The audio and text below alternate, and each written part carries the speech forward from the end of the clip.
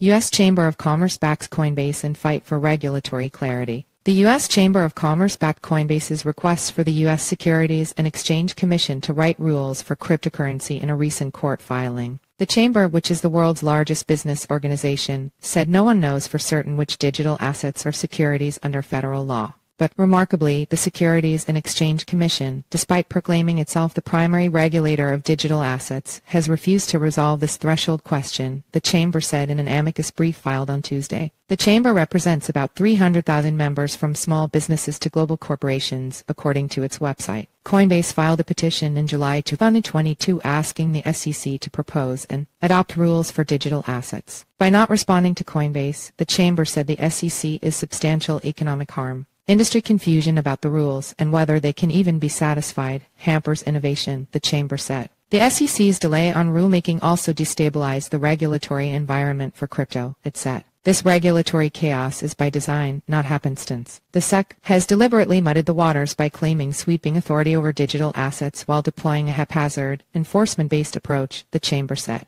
Not done yet. Coinbase asked a federal appellate court in Philadelphia last month to compel the SEC to respond to the July 2022 petition, arguing that the agency has not been reasonable or prompt with its response. The lawsuit alleged the SEC refuses to address Coinbase's rulemaking petition even as the agency expresses intentions to initiate enforcement proceedings against Coinbase for listing allegedly unregistered securities. SEC investigating Coinbase. Coinbase has also been embroiled in a fight with the SEC following news that the exchange was served a Wells notice in March. A Wells notice is a letter from SEC staff saying that the agency is ready to recommend formal charges to the five-member commission. The exchange responded to the Wells notice on April 19 in a 73-page submission, arguing that the SEC has not complied with the law by allowing companies like Coinbase to register with the agency. Notably, SEC Chair Gary Gensler has repeatedly said firms need to register with the agency and has said many cryptocurrencies are securities falling under his agency's jurisdiction.